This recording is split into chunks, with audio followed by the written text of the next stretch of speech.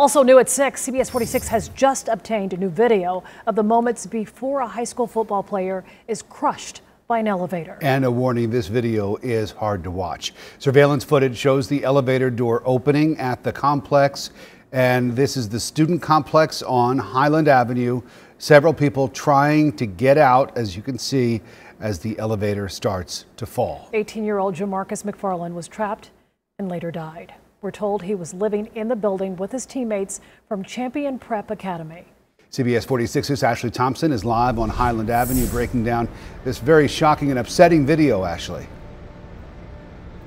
Yeah, Rick, that video is indeed shocking and very hard to watch. Students scrambling to get off an elevator here at 444 Highland Avenue. The situation, a matter of life and death. This video sent to CBS 46 shows the unbelievable moments before Jamarcus McFarland's death. Students on an elevator at 444 Highland Avenue spilling out of it as the elevator continues to fall.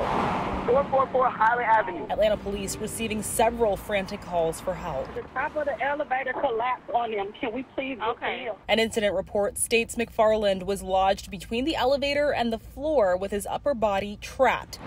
He's being crushed by the elevator door. The 18 year old would later die. He was hardworking, uh, a very loving, kind, uh, call him a gentle giant because, you know, he was so big, but yet you know, he just had a softness in his heart. Dr. Xavier Tipler says his nephew was hesitant to use the building's elevators. He did share with my mother, his grandmother, that, you know, I think that Sunday, that the elevator they were having elevator prob- uh, problems with the elevator in the building and he was afraid to get on it. Just two days after that call this. A certificate inside of the elevator shows it was past due for an inspection with the last one expiring in august 2020 when pressed about the issue management told cbs 46 quote it's actually the responsibility of the state to do inspections and it's our understanding that in 2020 many inspections were not done because of covid Insurance Commissioner John King pushing back. We're serious about this investigation. He says property management must first request an inspection from his office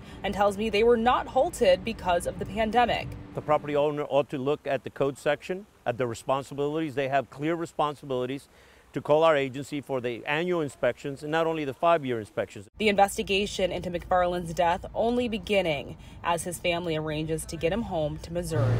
It's just been hard for everyone. Now, several people who live at this building have told CBS 46 this week the elevators have long been an issue. The commissioner says his office is now speaking with students about the elevators here.